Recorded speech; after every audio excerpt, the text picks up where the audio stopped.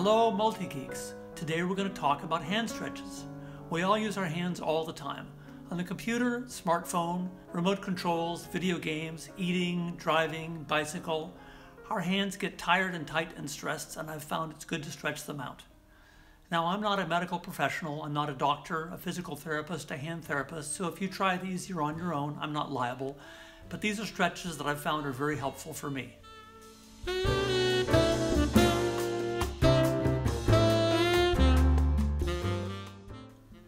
To show you five hand stretches that I do every day.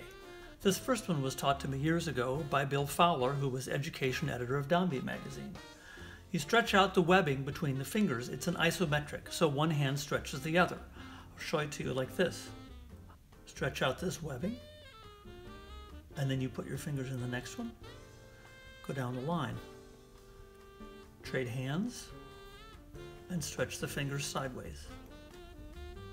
Now we need some way to stretch the thumbs, so I figured out this. Put your hands flat, thumbs together, push the hands together.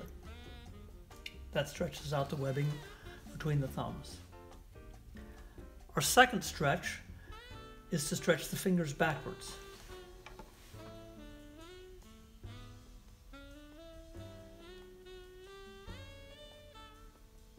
You'll find that your hands are probably different and your fingers are different.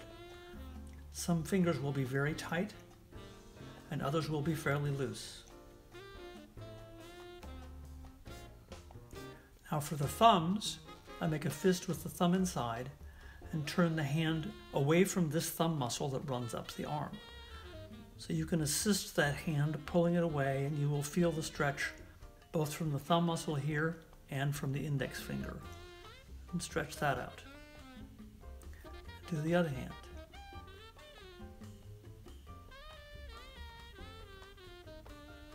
Next, I squish each finger together and you can feel the stretch around like this on the top of the hand. Each one at a time. Middle, ring, little finger. Now here I'll show it. Index,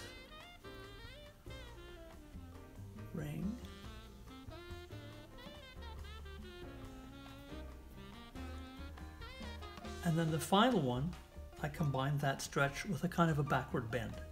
So I think I'll do this hand first, you can see it.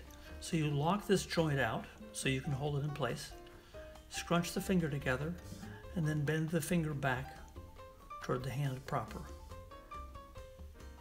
Most people's hands are tight, and these stretches are very hard. You can only do a little bit. For me, the middle fingers are the tightest. These ones are not too bad. Now I'll do the other hand. Scrunch the finger together, lock it out at the joint, and fold it backwards a little bit.